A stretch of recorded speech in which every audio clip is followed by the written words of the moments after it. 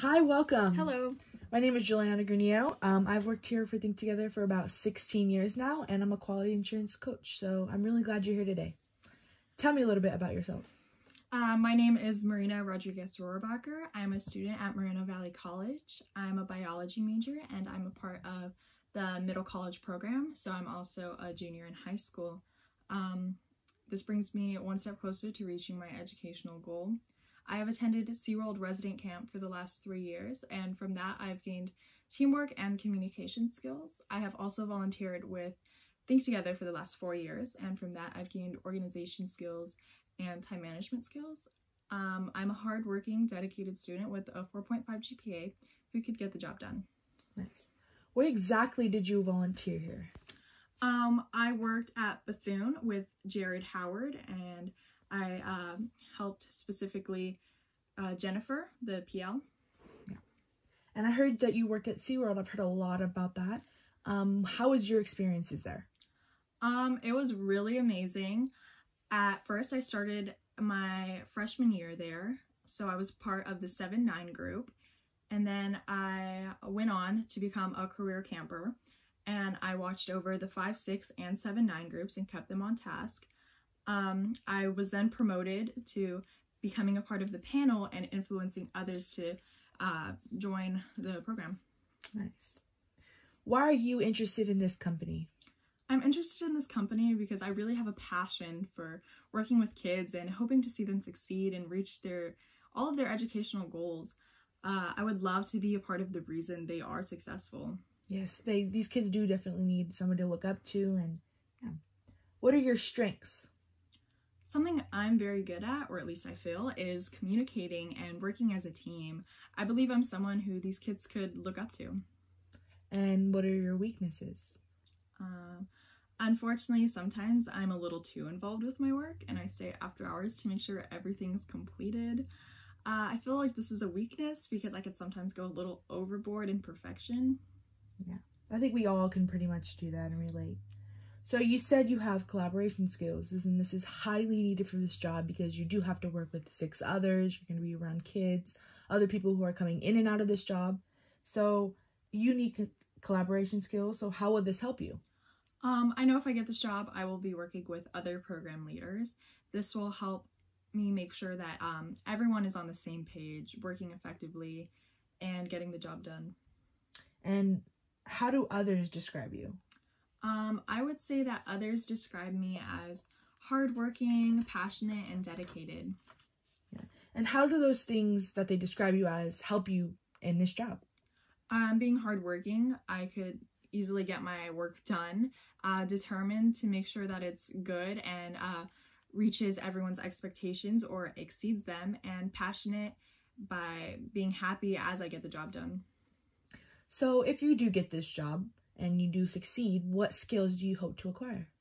Um, I hope to better my skills already. Um, I feel like communication is a big part of any job and that could always be improved because you have to ensure that everyone feels comfortable and is able to express themselves. What is the difference between a good leader in your eyes and a bad leader? Um, I believe a good leader consists of someone who um, works effectively no matter what the circumstances are, uh, continues to better themselves, not only for them, but for everyone around them, and helps their peers and continues to um, support them to do their best. Yes. And what are you going to do if you make a mistake? If I make a mistake, um, well, I, honestly, I think mistakes only help us improve, and they're bound to happen. They're they're inevitable. Um, I would take full responsibility to fix the situation as I learn from it. So let's suppose you and a coworker don't get along or don't agree on a certain situation. How are you as a coworker gonna help resolve the solution fast and effectively? Um, like I said, communication is a big part of any job. And I think you would have to um, go ahead and talk with that coworker. And if it's something outside of, of work, then you have to keep your emotions out of it, but just be able to um, make sure you see the other side of the story and come to a conclusion and try to find your peace. Yes. So you are going to be working with kids. So how are these kids going to be able to look up to you? What are you going to tell them? How are you going to encourage them?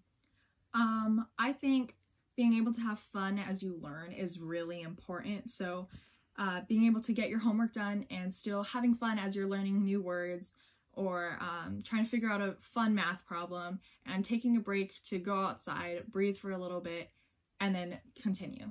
And do you have any other like ideas or any innovative situation or anything to help better this program? Do you have any ideas on how you are going to help? Um, as I volunteered, I noticed that we have a lot of the same um, attention getters and um, snack time games. Mhm.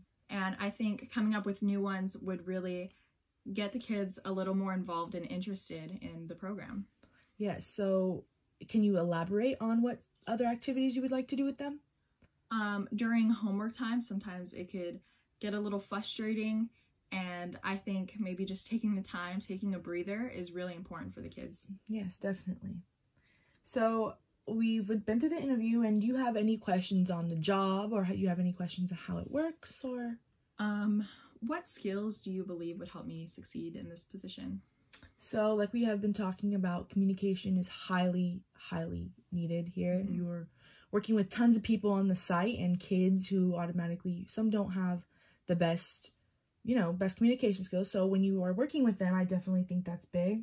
You are going to be working effectively, and this can help you in your day to day life. This can help you in any other job you apply to or anything. So, I do definitely think that this job is definitely right for you, and I do think that this can help you become successful in any field. So, yeah.